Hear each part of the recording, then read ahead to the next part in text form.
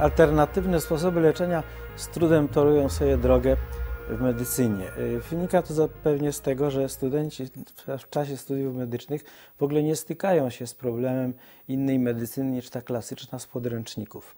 Y, Muszą to uzupełnić w trakcie już podyplomowych y, działań i, szkoleń. Lekarze w większości negatywnie odnoszą się do tych innych sposobów leczenia pozaklasycznymi, stąd trudność również w dotarciu do źródeł i naukowego udokumentowania tych metod, które jednak są na ogół skuteczne. Myślę, że połączenie y, nowoczesnej diagnostyki z działaniem osób, które zajmują się medycyną tą nieklasyczną, tak zwaną alternatywną, byłoby na pewno optymalnym wyjściem z sytuacji. W wielu krajach już tak się dzieje. W Chinach przecież równolegle uczą studentów zarówno medycyny klasycznej, tej tak zwanej światowej i europejskiej, jak i dawnej chińskiej medycyny, która opiera się na różnych mm, sposobach jeszcze z dawien dawna ludowych metod leczenia.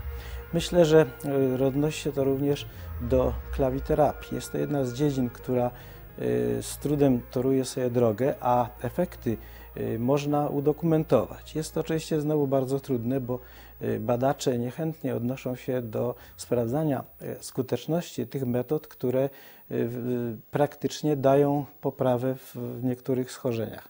Klawiterapia dotyczy akurat układu nerwowego, bo w tym jest najbardziej skuteczna i stąd y, badania tych y, skuteczności tej metody byłyby bardzo pożądane i trochę dziwi, że nie wszyscy koledzy lekarze chcą do tego się odnieść w sposób pozytywny. Y, Sam osobiście byłem świadkiem, że po klawiterapii niektóre elementy nerwowe, głównie jeśli chodzi o unerwienie mięśni, po odblokowaniu pewnych zespołów za pomocą klawików, no w sposób ewidentny w krótkim czasie uzyskiwały właściwy stopień napięcia i, i wyprostowania tam, gdzie te mięśnie działają jako prostowniki niektórych elementów narządu ruchu. I myślę, że gdyby y, dopuścić do głębszego zbadania tych metod, a dodatkowo gdyby lekarze chcieli się tym zająć, posiadając dużą wiedzę medyczną, wspartą nowoczesną diagnostyką i podpartą tymi y, dodatkowymi metodami alternatywnymi, na pewno by to dla pacjentów było bardzo skuteczne i pożądane.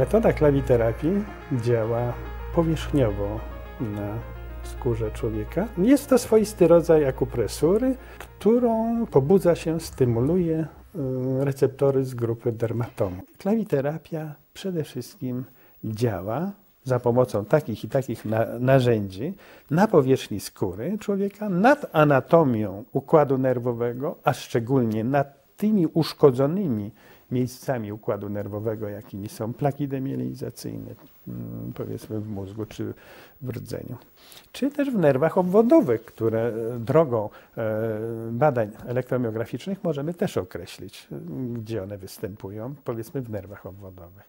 Mówię o nerwach eferentnych czy też aferentnych. Nerwy eferentne są te, które odchodzą z mózgu, od rdzenia, bo rdzeń jest elementem e, mózgu, jakby częścią mózgu, które odchodzą od rdzenia i mm, sterują różnymi, różnymi procesami mm, w organizmie człowieka.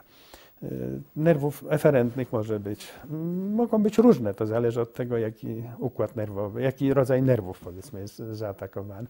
To samo jest z nerwami aferentnymi, tymi, które z obwodu informują mózg o różnych zaburzeniach na obwodzie. Zaprezentuję schemat algorytmu takiego zabiegu klawiterapii przystosowanego do stwardnienia rozsianego, nowotworów, polineuropatii, neuropatii, chorób, które, jak Państwo wiecie, medycyna nie bardzo sobie z tym radzi, jeśli chodzi o te, które wymieniłem. Przy wszystkich zabiegach z klawiterapii trzeba opanować sztukę reanimacji i resuscytacji. Resuscytacji z omdlenia i reanimacji z ewentualnej zapaści sercowej, bo takie przypadki mogą się zdarzyć wśród ludzi żyjących. I niektórzy ludzie, jak wiemy, mają szczególną wrażliwość, są uczuleni jakby na iniekcje wszelkie. Na sam widok strzykawki mdleją. I to się zdarza, że przy, klawikach, przy klawiterapii też taki pacjent taką może mieć właśnie wrażliwość indywidualną i może podczas zabiegów dojść do mdlenia. Klawiki są w pełni aseptyczne, sterylne, bo są wypalane w temperaturze 1000 stopni. No, nic się nie może uchować w tej temperaturze. Żadne świństwo na powierzchni narzędzia. Kolejna sprawa, przy stwardnieniu rozsianym, jak wiemy, e, jak mówiliśmy o tym, ludzie są szalenie mm, napięci nerwowo. Mają wiele niepokojów, wiele lęków, wiele mm, silnych napięć w mózgu. I teraz, żeby ten mózg uwolnić od tych napięć, przykładam klawiki między brwiami na punkt numer 3. Ten punkt zwany jest w akupunkturze chińskiej jako cudowny punkt. Drugie miejsce, które w tym samym czasie robię, to jest podstawa czaszki, e, punkt menedżerski, strefa między 15 a 16, główny regulator tylny. I te dwa punkty przytrzymuję razem i to sprawia, że po kilkunastu sekundach, minucie, nieraz trzeba 2-3 minuty trzymać, następuje absolutne e, wyciszenie mózgu, jakby wszystko odpłynęło, wszelkie zmartwienia, kłopoty, problemy, niepokoje, wszystko odchodzi, jest to idealna, cudowna psychoterapia. Naturalna. Następne miejsce, które próbuję odblokować w mózgu i daje kapitalne rezultaty, to jest punkt między punktem 20 a 21, ta strefa wierzchołka głowy. To miejsce udrażnia wszystkie kanały energetyczne w człowieku. Nieco z tyłu, na pograniczu kości ciemieniowej z kością potylyczną, jest punkt, który świetnie odblokowuje, udrażnia e, krążenie w mózgu. E, kolejny punkt, który udrażnia krążenie w mózgu, to jest e, punkt mniej więcej na tym poziomie i tu dobrze jest przytrzymać kilka klawików czy wykałaczek w tym miejscu i następuje udrożnienie krążenia w mózgu. Kiedy odblokowałem te podstawowe e, punkty sprawiające, przy, przywracające komfort psychologiczny mózgu i, na, fizjologiczny, bo naczyniowo-ruchowy, przystępuję do odreagowania e, mózgu i zaczynam to odreagowanie poprzez działanie w tej strefie wierzchołka głowy przemieszczając klawikami przez tę strefę, uwalniam e, wiele nerwów w całym organizmie człowieka, w całym układzie nerwowym. W tej chwili przyłożyłem klawiki, żeby uwolnić mózg od wszelkich napięć korowych, ośrodkowych i to poprawia kondycję psychologiczną mózgu. Czy tu ma Pani z przodu jakieś pieczenie? Nie. Nic zwykłe kłucie. Tak. Z tyłu też nie. Nie. W porządku. Głowa jest bardzo, bardzo dobrej kondycji. E, następnie robię przejścia klawikami po części potylicznej głowy.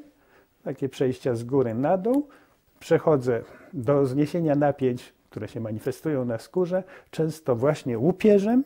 Robię klawikowanie właśnie części kości czołowej, skroniowej, aż tutaj poniżej kości klinowej. Kolejne odreagowanie robię kości czołowej, tu z przodu jest bardziej mm, przejrzyste, takie przejścia boczne, następnie wokół oczodołów z jednej i z drugiej strony. Ale proszę Państwa, jak tu się zrobi wokół oczodołów, na powiekach klawikowanie, to poprawia się w sposób bardzo radykalny wzrok.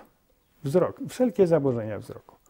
I mm, poprzez odreagowanie twarzy znoszę również w sposób wyjątkowo skuteczny mm, katar sienny, alergię na pyłki, roztocza e, różnego typu. To odchodzi tak jak e, niebywale łatwo i prosto. Także warto o tym wiedzieć, robiąc te, w tej okolicy właśnie klawikowanie.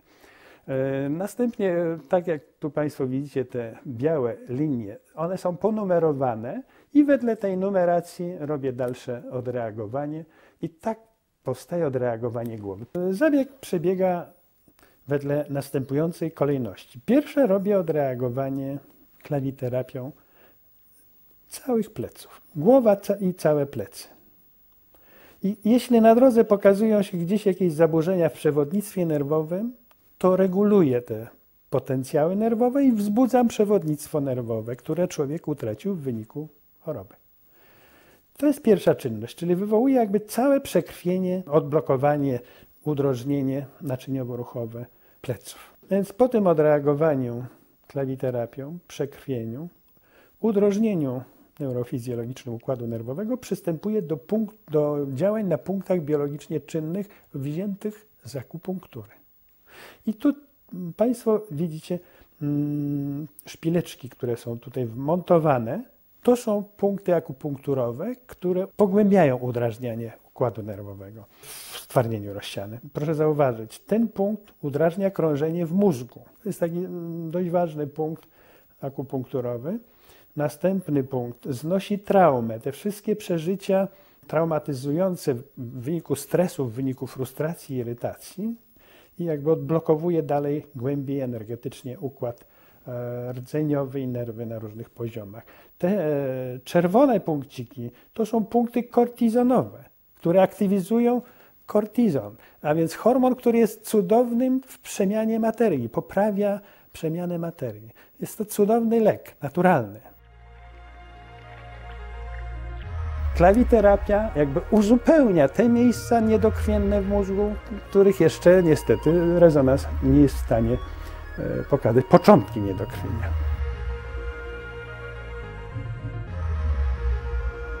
I w pewnym miejscu ujawnia się bardzo silne pieczenie, dokuczliwe. Ludzie uciekają, bo myślą, że ja działam jakimś gorącym przedmiotem. Nie mam nic takiego. Te narzędzia są w temperaturze pokojowej. E, a natomiast efekt tam, gdzie jest niedokrwienność, tam, gdzie jest jakieś głębsze zaburzenie, manifestuje się niewiarygodnym pieczeniem, wręcz nawet wchodzący w pewną mm, formę bólu. Przepraszam, ale to boli.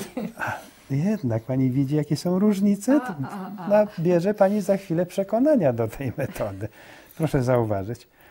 Trafiłem w punkt pod siódmym wrostkiem ościstym. Ja nie uciskam tego tych narzędzi. One leżą na moim ręku. Trzymam, żeby się nie rozsypały. A pani czuje, to znosi traumatyzację ogólną. Wszelkie napięcia zniesie. Proszę, jak pani reaguje. Teraz pani widzi, jaka jest różnica. Są miejsca na powierzchni Tak, skóry i o szczególnej. Mnie to boli cały czas. Właśnie i zaraz ustąpi i poczuje pani luz w całym organizmie. Korzystałam kilkakrotnie z pomocy doktora, który para klawiterapią i wydaje mi się, nie, właściwie to nie tylko mi się wydaje, ale jestem pewna, że właśnie doktor mi pomógł, bo wszystkie metody, które stosowałam w domu i w szpitalu i, i u kolegów, nie przynosiły właściwie poprawy. Y, Powodowana y, wiarą w to, że doktor pomaga, bo już kilkakrotnie zapoznawałam się z jego metodami, przyjechałam, no i muszę powiedzieć, że naprawdę uzyskałam kilkakrotnie poprawę w takich schorzeniach jak pogrypowe powikłanie astmą, jak y, powikłanie y, życiowego przepracowania, dyskopatia, poza tym y, jakieś uczuleniowe dolegliwości. Zawsze, kiedy mi tylko coś dolegało, przyjeżdżałam do doktora i po prostu wierzyłam, że mi pomoże i pomagało. Pani jest lekarzem, specjalistą od rehabilitacji i wie o tym, że to ma zniesioną lordozę odcinka lędźwiowego. I w jaki sposób możemy naprawić ten odcinek kręgosłupa? Otóż trzeba przede wszystkim wywołać tu przekrwienie, a jednocześnie działając tymi przyrządami pobudzam receptory z grupy dermatomu, podobnie jak w innych działaniach e, poprzez neuroprzekaźniki, pobudzam również receptory z grupy neurotomu, miotomu i sklerotomu. Jak wiecie, z wiekiem krążenie w układzie kostnym poważnie jest zakłócone. Różne zmiany zwyrodnieniowe, zmiany wtórne wywołane no, problemami życia, zawodu. Yy, I to właśnie sprawia, takie właśnie zabiegi tej okolicy, że udrażniam krążenie, odprowadzam toksyny, przywracam właściwe życie na poziomie endogennym. Kiedy wywołam tu najbliższe przekrwienie, wówczas przechodzę przez linię pośrodkową. I tu pobudzam określone też grupy receptorów. Proszę zauważyć, jak pani doktor się teraz e, prostuje w wyniku tych bodźców. Wyraźne reakcje idą I to trzeba spokojnie, wielokrotnie powtórzyć, zrobić. Następne przejście to jest mniej więcej centymetr od wyrostków ościstych i teraz mm, centymetr od tych wyrostków również przechodzę i przytrzymuję. Tu powinna pani doktor uczuwać pieczenie w tych miejscach i ból. O, jest reakcja nawet. Boli, boli. To jest, to jest mniej więcej na poziomie y, czwartego kręgu lędźwiowego. Trzeba teraz dookoła to bardzo starannie pobudzić przez te grupy receptorów, o których mówiłem. Aktywizuje się tu dosłownie wszystko. I przywraca się homeostazę. Chcę powiedzieć, że te plecy w tym odcinku przed dwoma laty, ponad dwa lata temu, były w, w kifozie takiej, w wygarbieniu, ale teraz tego nawet nie jest w stanie pani doktor powtórzyć, bo e, fizjologia nie pozwala. Przedtem miała naturalne wykrzywienie tak bardzo głębokie i w przeciągu 10 dni skasowaliśmy to. Odzyskała lordozę. Ja jestem w zasadzie y, fizjoterapeutą, więc wszystko to, co dotyczy organizmu i jego y, walki z chorobą, jak najbardziej tym się przejmuję. I wydaje mi się, że właśnie jeżeli działa się poprzez układ nerwowy i poprzez wzmocnienie wiary pacjenta w te metody, to na pewno uzyskuje się już jakby połowę powodzenia w leczeniu.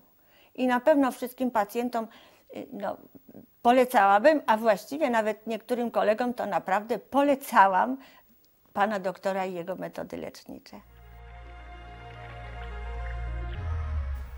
I te ośrodki, które tu leżą pod tą strefą, gdzie teraz pracuję, odzyskują kapitalne warunki. Możemy powiedzieć, jakie to ośrodki są?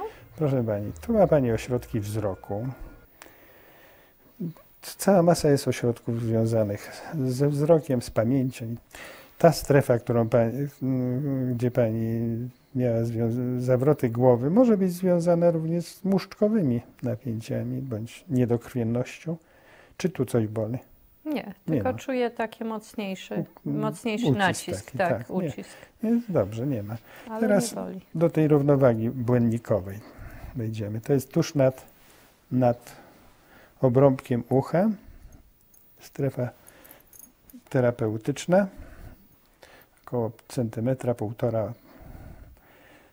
nad obrąbkiem, nad wierzchołkiem małżowiny ucha. Czy tu Pani coś czuje? No troszkę z lewej, Troszkę z lewej, z prawej nie. z prawej, no z lewej. Z lewej. Widać mm, gorsze nieco dokrwienie błędnika z lewej strony. Ale jak można poprawić zwyrodnienie y, kręgosłupa? Przecież nie można tego poprawić. Nie, ja zmian wtórnych nie zmieniam. no, fizyczne Nie, więc mówię, zwyrodnienie kości, Zmian kości, wtórnych prawda? nie zmieniam i nie mam zamiaru nawet aspirować, bo to może pani sobie zmienić chirurgicznie. Ja mogę pani poprawić w tych warunkach fizjologię tych nerwów i tego kręgosłupa, zahamować ten proces. Natomiast zmian wtórnych nie zmieni absolutnie. Przepuklinę pani skasuje, bo ona jest zaburzeniem czynnościowym nerwów. To pani obiecuje, że to skasuje. Nie skasuje na przykład tetraplegii, gdyby pani tu miała na przykład yy, przerwanie rdzenia, no nie ma mowy, żebym ja to naprawił. Nie skasuje pani paraplegii na odcinku powiedzmy lędźwiowym, bo tego nie potrafi, nie, nikt nie jest w stanie naprawić. Nikt. Nie ma mowy na to, żadnej metody do tej pory i nie sądzę, żeby ona powstała. Ja pacjenta nie diagnozuję. Pacjent do mnie przychodzi z pełną diagnozą lekarską, neurologiczną. Jakie muszą być wymogi? Pacjent musi mieć aktualny rezonans magnetyczny głowy, ewentualnie rdzenia, jeśli zachodzą podejrzenia, że gdzieś jeszcze w układzie rdzeniowym następuje demyelinizacja.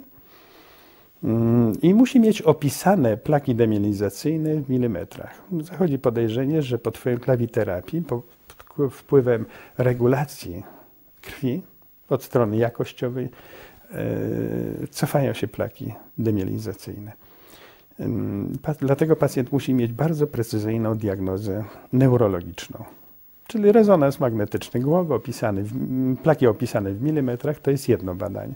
Drugie badanie musi mieć również proteinogram białka, czyli frakcje białkowe. Co jeszcze musi mieć? Musi mieć ankietę wypełnioną. Ankietę, którą ja opracowałem razem z neurologami w konsultacji z neurofizjologami.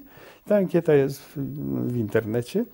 Musi ją sobie wydrukować i neurolog, który go tam prowadzi, powinien tę ankietę wypełnić.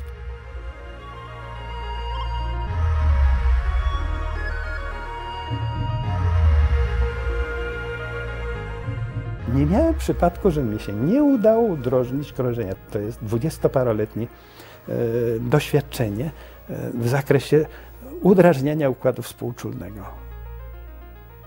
Życie wraca.